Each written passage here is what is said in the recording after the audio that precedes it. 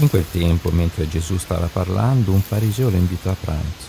Egli andò e si mise a tavola. Il fariseo vide e si meravigliò che non avesse fatto le abluzioni prima del pranzo. Allora il Signore gli disse, voi farisei pulite l'esterno del bicchiere e del piatto, ma il vostro interno è pieno di avidità e di cattiveria. Stolti, colui che ha fatto l'esterno non ha fatto anche l'interno?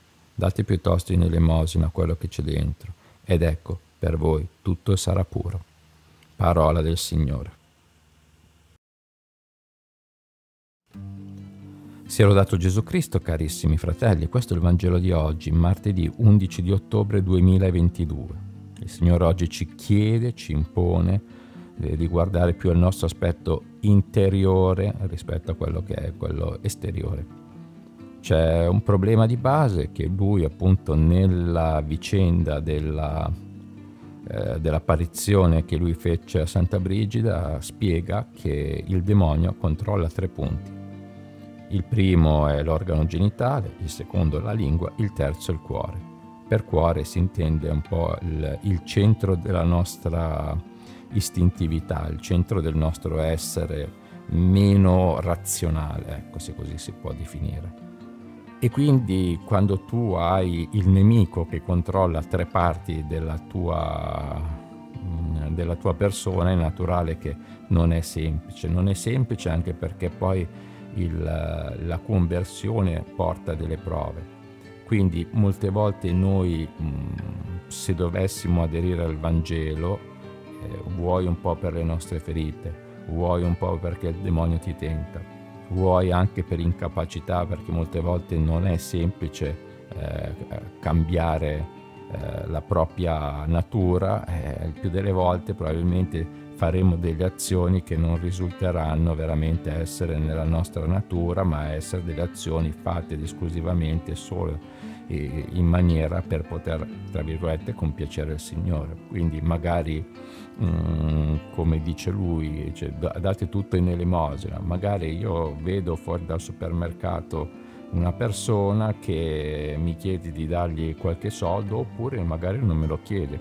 Allora io prendo, gli do una moneta che può essere 1, 2 euro, 5 euro, non lo so ma quell'azione che farò la farò perché mi sento di aiutarlo oppure perché il Signore mi ha detto questo?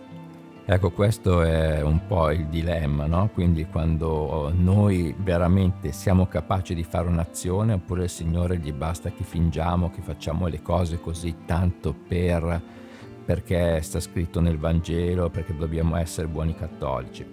Ecco, è un po' questa la, la grande differenza tra il dire io sono cattolico e il fare il cattolico, perché poi molte volte noi dobbiamo anche un po' per quello che dicono gli altri, ah ma no, insomma, eh, ma se io non faccio così cosa, cosa pensano gli altri, se io non mi comporto così, se io non do eh, l'obolo, se io non aiuto, se io non faccio, ecco poi eh, ci troviamo davanti a queste situazioni in cui molte volte noi agiamo non tanto anche per spirito evangelico, ma anche perché chissà cosa pensano gli altri. Un po' come era quella canzone eh, Quelli che ben pensano de, del rapper, no? che diceva appunto eh, le mani alla domenica giunte, chissà cosa dice.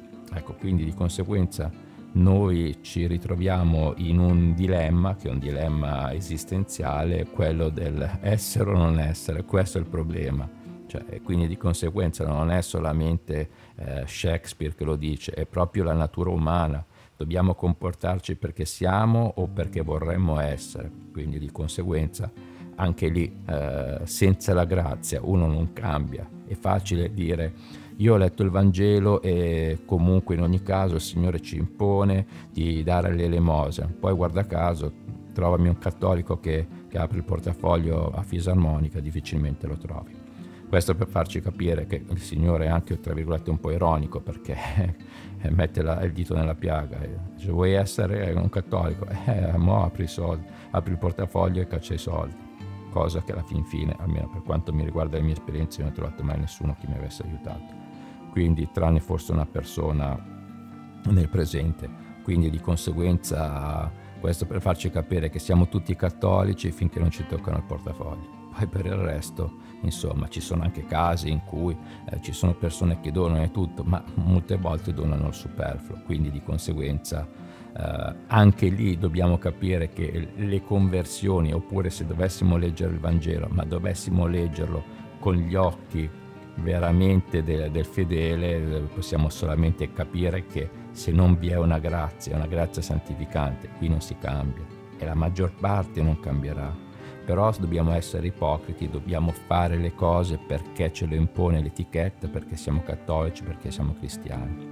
Ecco, io penso che mh, mm, forse sarebbe il caso di riscoprire quel, quel momento evangelico in cui il Signore con la parabola dice c'era quello che andava avanti in chiesa e diceva ah grazie Signore perché eh, mi hai fatto così, perché digiuno, perché prego, perché sono bravo e tutto. Invece quell'altro che in fondo dice Signore accettami come sono. Ecco, io penso che sia così. Piuttosto che il Signore ci accetti come stiamo, pessime persone rispetto magari a persone false che forse in primis prendono in giro Lui e anche noi stessi.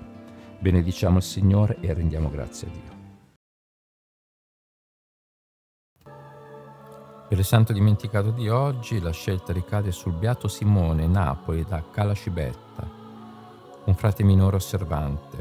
Siamo a Palermo, il, eh, nel 1500 e qui c'è Fra Simone che è una persona particolare.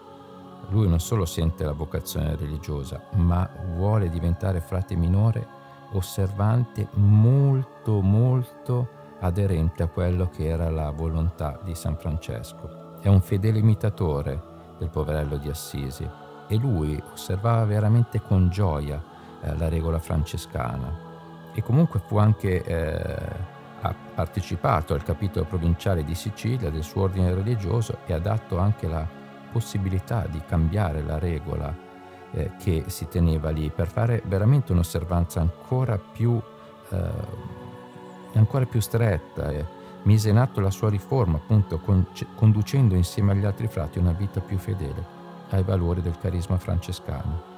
E era una persona incredibile, il frate pregava in continuazione, addirittura lui aveva questa um, abitudine di, abita- di, di pregare vicino a un albero con tre rami, perché i tre rami secondo lui simboleggiavano la Santissima Trinità. Era una persona amatissima, ma forse anche perché lui conduceva una vita talmente santa da avere la possibilità di fare tanti miracoli. E la gente veramente eh, non, non, lesinò eh, di poter chiedere a lui di poter intervenire su varie situazioni che potevano essere personali o potevano essere a carattere generale quando magari non, non pioveva o c'erano delle calamità eh, in cui veramente eh, tutta, tutto il paese o le zone attive potevano avere dei problemi. E quindi quello che ci, ci porta eh, a, questo, a, questo, santo sono gli insegnamenti che eh, ha dato, ovvero quella della necessità di accogliere la rivelazione di Gesù, ma con cuore semplice, un po' come lo accoglieva San Francesco, l'importanza della preghiera e soprattutto del silenzio, e poi il valore della penitenza. Ecco, queste tre cose che sono fondamentali per uh, i cristiani di tutti i tempi oggi si sono un po' anacquate. Quindi l'unica cosa che possiamo fare è chiedere al Beato Simone che veramente ci possa far rivalutare questi tre passaggi indispensabili della nostra vita, magari anche fare dei miracoli, però soprattutto essere noi miracolati dal Signore per poter veramente accedere a quella salvezza in grande come ha, ha, avuto accesso San Francesco d'Assisi e anche sicuramente il Beato Simone Napoli.